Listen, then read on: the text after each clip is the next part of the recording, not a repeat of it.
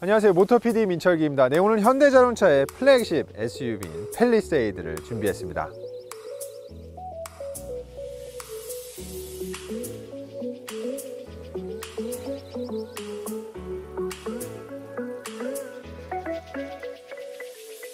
준비하면서 보니까 팰리세이드 관련 영상이 정말 많더라고요. 그만큼 인기가 좋은 거겠죠. 그래서 저희는 일단 가솔린 버전을 차량으로 준비를 했고요. 또 제 차가 베라크루즈이기 때문에 10년 동안 디자인이나 공간성은 어떻게 변했는지 간략하게 살펴보고 네, 펠리세이드 가솔린과 함께 도로로 나가보도록 하겠습니다. 그리고 아직 안 해주신 분들께서는 네, 저희 채널에 구독도 꼭 부탁드리겠습니다.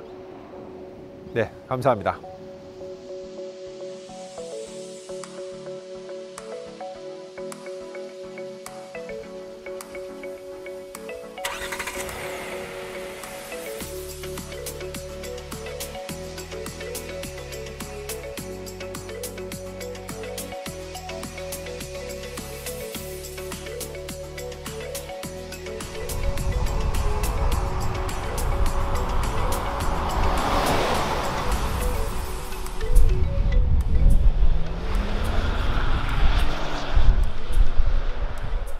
짜잔. 여러분들 보고 계신 차량은 2007년식 현대 베라크루즈입니다. 이게 뭐가 이렇게 좀 묻었네요.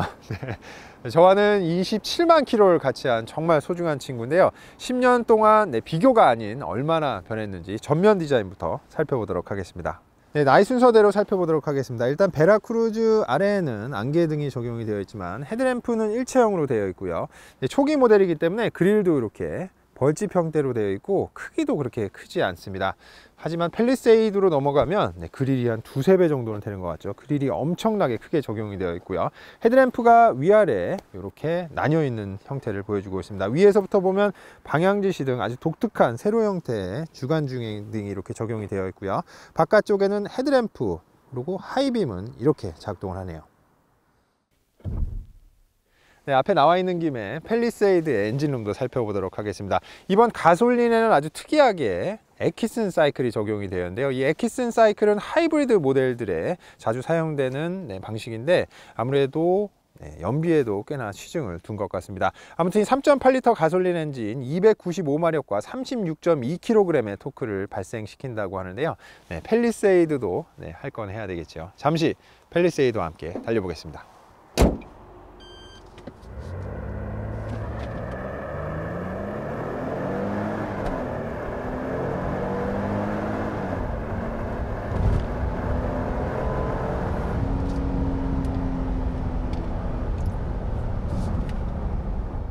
네, 펠리세이드가 100km까지 가속하는 데는 8초가 소요되었습니다. 대형 SUV 치고는 나쁘지 않다는 생각이 드네요. 네, 연비도 좋을 것 같은데 연비도 함께 확인해 보겠습니다. 네, 제가 출퇴근 시 시내 구간 약 40km 구간에서 측정을 해 보았을 때는 9km 정도가 나왔고요. 고속도로에서 90에서 100km로 항속 주행을 했을 때는 13km 이상이 나왔습니다. 네, 이 정도면 경쟁 모델들에 비해서도 경쟁력을 갖추고 있네요 네, 세월만큼 전면 디자인도 정말 많이 변경이 되었네요. 자 그럼 측면으로 이동을 해 보도록 하겠습니다. 일단 팰리세이드 측면에는 이 사이드 램프에 LED turn signal이 방향 지시 등이 적용이 되었고요. 그리고 이 베라 때도 그랬는데 이 사이드 캐릭터 라인은 헤드램프를 시작해서 쭉 테일 램프까지 이어지는 모습을 보여주고 있습니다. 저도 왜 그런지는 모르겠는데 이 C필러 쪽에 있는 라인은 다른 라인과 맞닿지는 않네요. 왜 그런지는 모르겠습니다. 베라크루즈에는 18인치의 5 스포크가 적용이 되어 있었다면 펠리세이드는 보시는 바와 같이 20인치의 10 스포크가 적용이 되고 있습니다. 자 그러면 펠리세이드의 braking 성능도 함께 확인해 보시죠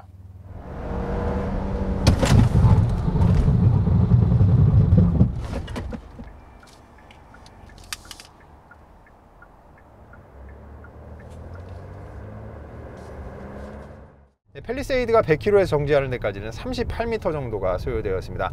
큰 덩치에도 불구하고 자세 흐트러짐 없이 아주 안정적으로 멈춰서 주네요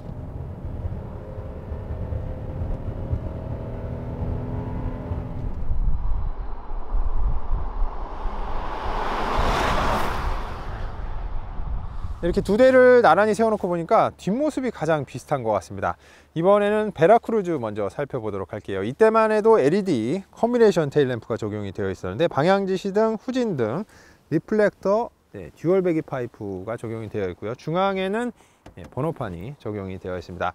펠리세이드에도 마찬가지로 중앙에 번호판이 적용이 되어 있고요. 여기도 LED combination, 방향지시등, reflector, 후진등, 그리고 오른쪽에 배기 파이프가 적용이 되어 있습니다. 펠리세이드 이렇게 lettering이 적용이 되어 있고요. 현대마크는 약간 좀 큰 거 같지 않나 뭐 그런 생각을 해봅니다. 현대자동차에서 이 부분을 이제 garnish 예, lighting이라고 부르고 있는데 이렇게 미등을 켜게 되면 여러 라인으로 되어 있는 아주 독특한 디자인을 채택하고 있습니다. 자, 트렁크도 살펴보도록 하겠습니다. 펠리세이드에는 이전에 없던 3열 power folding seat가 적용이 되어 있기 때문에 이렇게 one touch만으로도 네, 편하게 시트를 접고 펴실 수가 있습니다. 이전 베라크루즈만 해도 직접 이렇게 손으로 하느라고 허리도 아프고 그랬는데 정말 편하네요. 가장 중요한 점은 이렇게 3열이 열려 있는 상태에서도 골프백 두 개 정도가 들어간다고 하니까 네, 트렁크 공간도 많이 좀 넓어진 것 같아요 아래 보시면 추가 수납 공간도 적용이 되어 있고 네, 반자동이긴 한데 여기서 2열 시트도 이렇게 젖힐 수가 있습니다. 아, 잠시만요. 2열 보기 전에 전체적인 차량 사이즈 한번 말씀드리도록 하겠습니다. 지난번에 베라크루즈와 함께 지하 주차장에 서 있는 거 보니까 펠리세이드가 좀 더 커 보이던데요. 정확히 말씀드리면 펠리세이드가 전장은 약 140mm 그리고 휠베이스도 95mm 정도가 아, 길기 때문에 네, 정말 엄청난 사이즈인 것 같습니다. 실제로도 네, 딱 봐도 덩치가 어마어마한 수준을 보여주고 있고요. 자 그럼 실내도 네, 살펴보도록 할게요 7인승, 8인승 중에 선택을 하실 수가 있는데 오늘 시승 차량에는 양쪽에 captain chair가 적용된 7인승 모델이 되겠습니다. 네, 실내도 살펴보도록 할게요. 네, 위에 보시면 이제 dual roof가 적용이 되어 있는데 앞에 것만 열리고 뒤에 거는 심지어 열리지는 않습니다. 네, 지금 미세먼지 경보가 떠 있는데 저렇게 열어놔도 되는지는 모르겠고요. 계속해서 리뷰 이어나가 보도록 하겠습니다. 네, 뒤에 그 공간성도 좋고요. 일단 이 captain seat가 굉장히 편안하긴 편안하네요. 앞에 보니까 어, 2열을 위한 통풍 시트도 적용이 되어 있어요. 베라크루즈만 해도 열선 시트밖에 없었는데 이런 부분은 조금 네, 부럽게 느껴지는 부분이 있고요. 밑에 보시면 12V 220V 충전 포트도 적용이 되어 있고 아, 물론 수동이긴 하지만 심지어 이렇게 선쉐이드까지 네, 적용이 되고 있습니다. 네, 바로 뒤로 이렇게 중앙으로 나가실 수도 있고요 들어가실 수도 있고 아니면 이렇게 원터치 버튼을 통해서 어, 정말 부드럽게 네, 젖혀지는 모습을 보여주고 있습니다. 제가 그러면 3열로 한번 이동을 해보도록 하겠습니다. 네, 제 키가 187이라는 걸 좀 알아주셨으면 좋겠고요. 뒤에 3열도 보면 공간성도 그렇고 헤드룸도 그렇고 베라크루즈보다는 조금은 네, 더 좋아진 것 같습니다. 특히 푸드벨이라고 하죠. 발 있는 부분이 좀 더 많이 편해진 것 같고 네, 공간성 많이 좋아진 것 같습니다. 옆에 보시면 USB 충전 포트와 컵홀더도 양쪽에 적용이 되어 있네요. 자, 그러면 이제 밖으로 다시 나가 볼게요. 네, 운전석에 앉아서 보면 10년 사이에 디자인이 얼마나 발전했는지 쉽게 알아볼 수가 있습니다. 펠리세이드 실내에는 이렇게 가죽과 wood trim 그리고 알루미늄 garnish로 네, 모던하게 꾸며져 있습니다. 네, 이전 베라크루즈에는 7인치 infotainment screen에 계기판 아래에 손가락만한 정보창이 있었는데요. 이번 펠리세이드에는 8인치 계기판 cluster에 무려 10.25인치 내비게이션 스크린이 적용이 되고 있습니다. 아래에 보시면은 네, 스타일리시하게 기어 셀렉터도 버튼식으로 변경이 되었습니다. 자 그럼 펠리세이드와 함께 도로로 나가 보겠습니다 그럼 이제 펠리세이드 가솔린 주행 특성에 대해 좀 더 집중해 보도록 하겠습니다. 일단 시야는 상당히 운전하기 편하게 되어 있습니다. 시팅 포지션도 위에서 내려다 보이게 되었고요. 창문도 큼지막하고 후측방까지 가리는 부분이었기 때문에 네, 운전하기 편하게 되어 있습니다. 만약 도움이 필요하실 경우에는 이 후측방 모니터와 surround view monitor에 도움을 받으실 수도 있겠습니다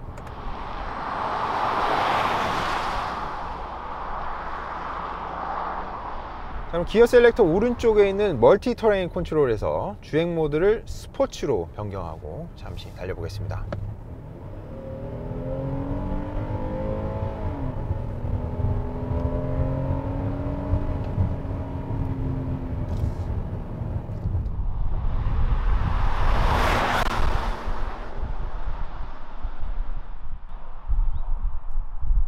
스포츠 모드로 변경하니까 핸들도 묵직하게 변하고요. 가솔린답게 경쾌한 모습을 보여주고 있네요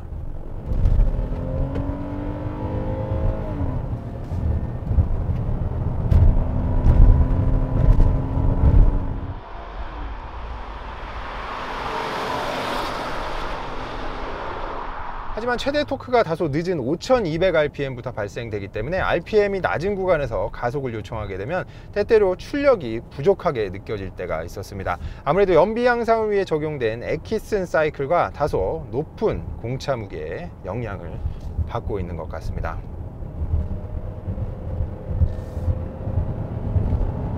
고 RPM에서는 또 상당히 잘 나가요.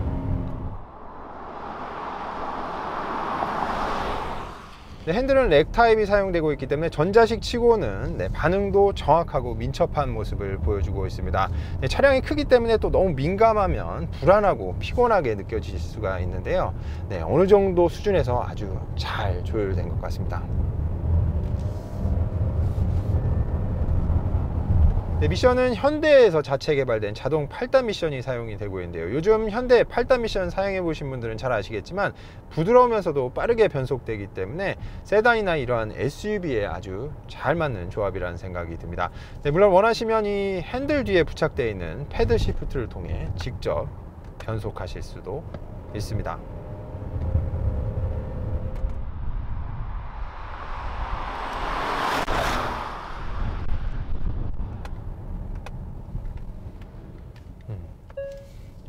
SUV 치고는 네 반응 나쁘지 않습니다. 오늘 시승 차량에는 현대자동차의 올휠 드라이브 시스템인 H트랙도 적용이 되어 있는데요. 필요시 구동을 앞뒤로 배분해 주기 때문에 꼭 오프로딩이 아니더라도 우천시나 이런 코너에서 큰 도움을 주고 있습니다.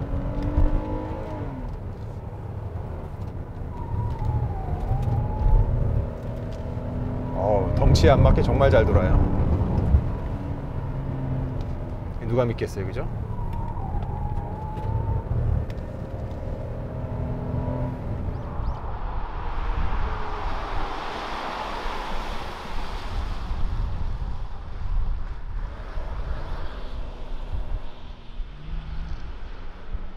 가족과 함께 타는 차량이기 때문에 승차감도 굉장히 중요한데요. 펠리세이드 다인승에 아주 좋은 예를 보여주고 있다는 생각이 듭니다. 다행히 너무 물렁거리지도 않고요. 승차감을 해하지 않는 범위 내에서는 어느 정도 단단하게 세팅되어 있기 때문에 요즘 트렌드를 반영한 아주 편안한 승차감이라고 설명드리고 싶네요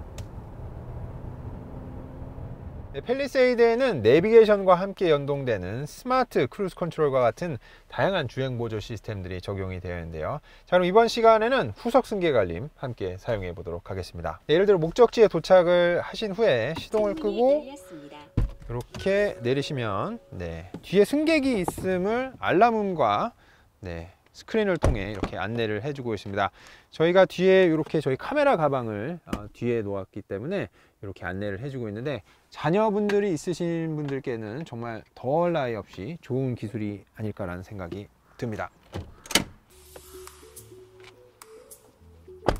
네, 오늘 펠리세이드 가솔린과 함께 달려보았습니다. 저는 좀 더 자세한 시승기로 다시 인사드리겠습니다. 가시기 전에 저희 채널에 구독도 꼭 부탁드리겠습니다. 네, 감사합니다.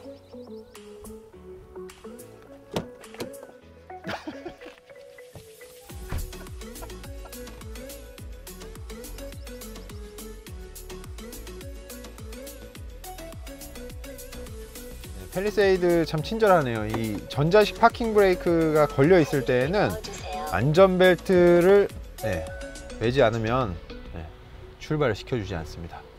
그래서 이렇게 안전벨트를 매고 출발하시면 되겠습니다.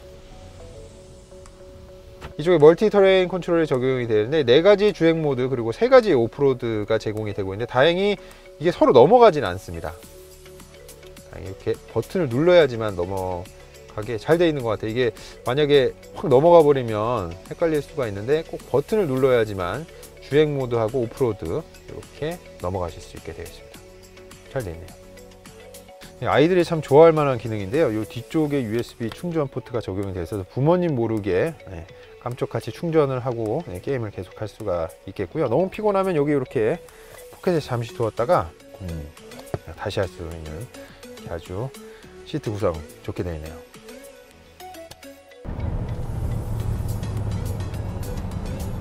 불안한 가요 김 PD?